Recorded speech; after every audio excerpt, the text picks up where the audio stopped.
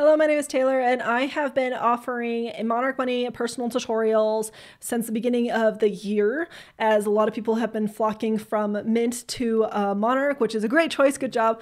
But uh, these tutorials have been really awesome, and I've gotten a question almost about 50% of them, 50% uh, of the time. Uh, should I download my Mint transactions? Should I bother moving my Mint transactions into Monarch? And this is a very personal question. It really depends on the situation. So I wanted to walk you through a couple scenarios. If you're sit, kind of sitting on the fence, not sure what you're, if you really want to download it, or maybe you have downloaded and you're running into some issues.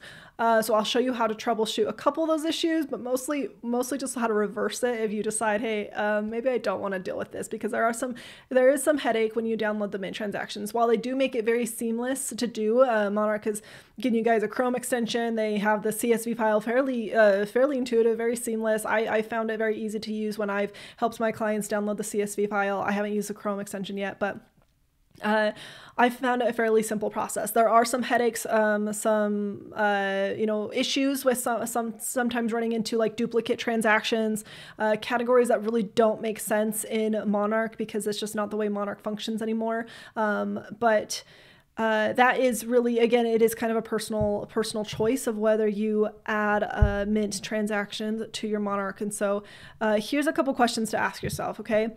Is have you been using mint diligently for years and years? You've been categorizing you've been uh, in mint, mint like every week kind of looking through everything cleaning it up making sure it's as accurate as possible. If that is the case go ahead and try to download the mint transactions. You may run into duplicates because that's an issue with like uh, if you choose to prioritize uh, the uh, I think it's the mint transactions over your bank, which I think is the one that's recommended. Whichever one's recommended, um, there are some issues with like maybe the dates just slightly don't line up, and so you and run up and run into duplicate transactions. I don't see that every single time when I've been downloading mint transactions, but I do see it every once in a while. I'm not sure what the difference is, and so if you run into that, uh, it can be a little annoying but uh, you know uh, the Monarch team does have solutions to work through. They do have offers to troubleshoot this, but uh, I have had clients just say like, "Hey, I don't really want to deal with this anymore. Let's just move on. Let's get rid of them and uh, just move on fresh start because I don't really want to bother trying to clean this up." Um, but if you have been using it diligently, go ahead and download them. If you have not been, if you have been using Mint like maybe once a month, you've been uh, checking in, just kind of getting an overall report of uh, expenses versus income, I would not bother with it. Like you probably have category a lot of transactions and categories that you do not need or do not use, like one transaction that's fallen into like a miscellaneous category, right? Um, if you have those, I just I just really wouldn't bother with the headache. Uh, I mean, reference Mint, look through your data as it moves to Credit Karma uh, as you go forward and set uh, set spending goals for the future. Uh, it's still important to see that data, but it's uh, probably not very clean, and so I don't know why you'd want to bother moving it and cluttering a, a new system if we're starting fresh and starting with uh, you know maybe new goals and new uh, new financial goals. So. The other question is, will seeing past trends help you stay on track towards your future goals? Like if you have been, uh, you know, working really hard to pay off debt, increase your net worth, and to start fresh, to not see that data in your cash flow would be super disheartening. Um, I would then I would absolutely download the mint transactions, the balances, and the transactions. I think that would be very helpful for you to stay on track. Uh, if again, if not, if you don't really care, if you're like, eh, things have been kind of all over the place, or maybe I'm still working on those goals and I haven't seen much progress so far anyway, and I want to, you know, start fresh, go ahead and do that. Give you permission. Uh, if you need to see past transactions to create a budget, uh, which everyone does need to, uh, you do need to be able to see what your average spending has been uh, in order to make decisions. You cannot set a grocery budget based on uh, your wants and hopes and dreams. You need to set it based on what is a reality for you and your family. So if you've been spending, you know, $1,500 a month on groceries and you're setting a goal to spend 800 you have some very serious work to do. This means uh, meal prepping quite a bit. This means uh, hiring a meal prepping service or spending a way more time uh, planning your food, uh, cooking food, and it might not be time you have. And so, is that actually a realistic spending goal? And it might not be for you. So, you do need to see past trends, trends and transactions. However, if you connect your bank accounts to Monarch, most bank accounts pull in quite a bit of data. Now, some accounts only pull in like a couple weeks Uh, some are pulling in a year's worth of transactions. And if that's the case, you can get a pretty good idea of where your spending has been. It might not be perfect. Like you might not know, you know, what those Amazon purchases were, or if the Target run was for groceries, or if it was just for general shopping. You might not know these things, but uh, it can give you a good idea to start with. And that's what I've been using with my clients. Most of my clients who start out with me were not, at least at the start, a lot of them are now, you know, been doing um, budgeting for a while.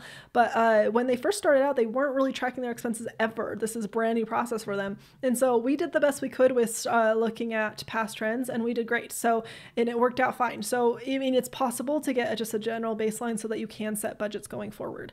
Uh, but if you um, need those past transactions if you've you know organized it. Again you've been organizing it quite a bit and you need to be able to see those uh, what you kind of spent on.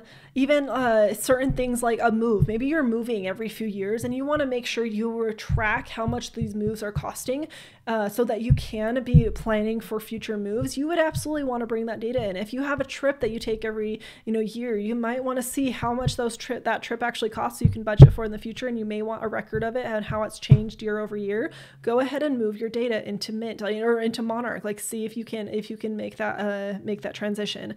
Uh, so those are some of the scenarios where you may want your mint data and uh, it, it would absolutely be worth it. Again if you if none of that stuff apply to you don't do it. Start fresh. I give you permission. Just you know let the past be.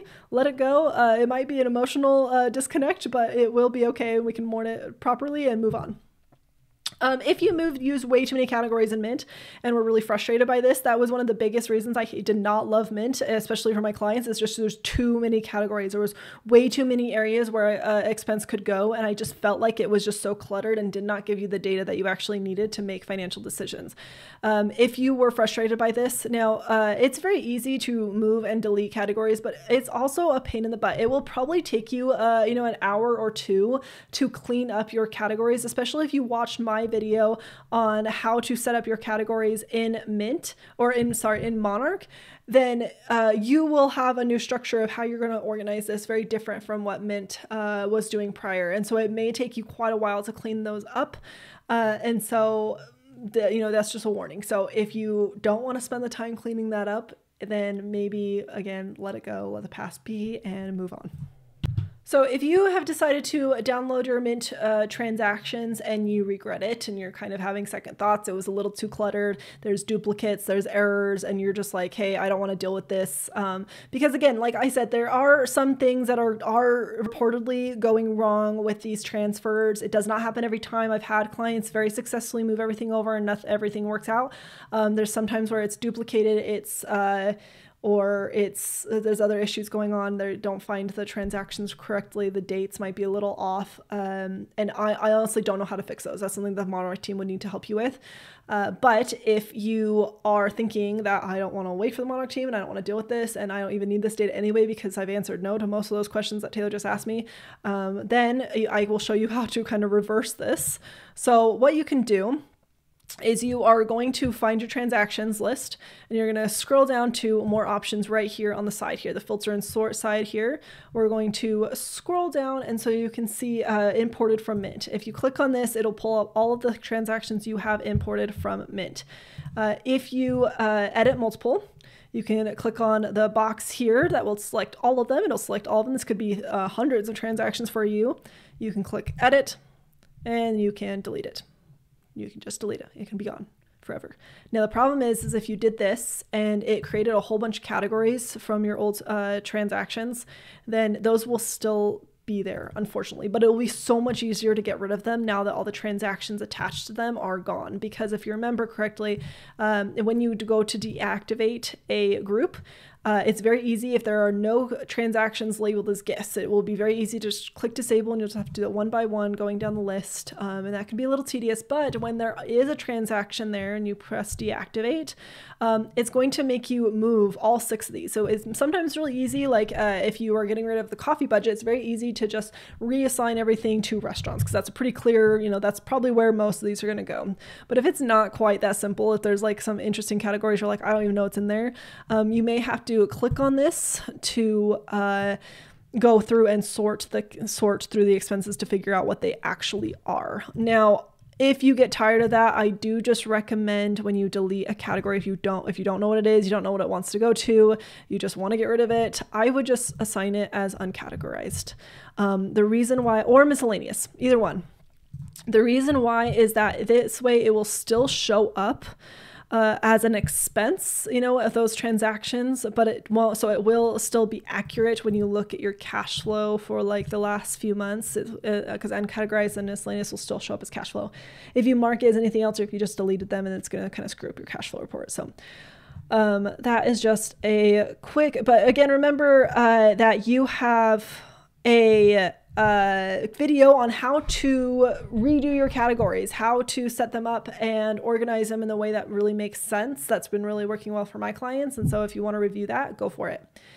If you are still on the fence or you're looking for more guidance, more one on one feedback on you how you have your monarch money set up. I'd love to help you.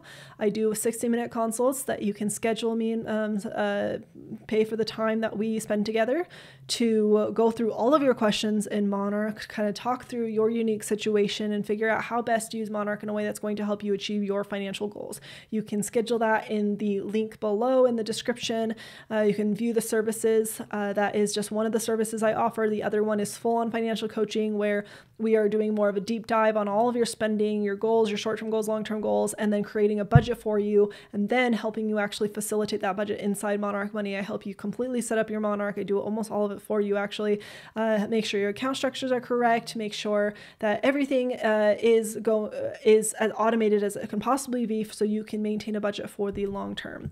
So if either of these services are interested uh, interesting to you, you can go and click the link below in the video uh, description. But otherwise, please let me know uh, what questions you have about uh, transferring Mint. I'd love to help you. What what what's kind of going through your head? What are the dilemmas that I may have missed in this video that I, uh, I'd love to help you in the comments below. So uh, let me know. Please subscribe, like, and thank you so much for watching.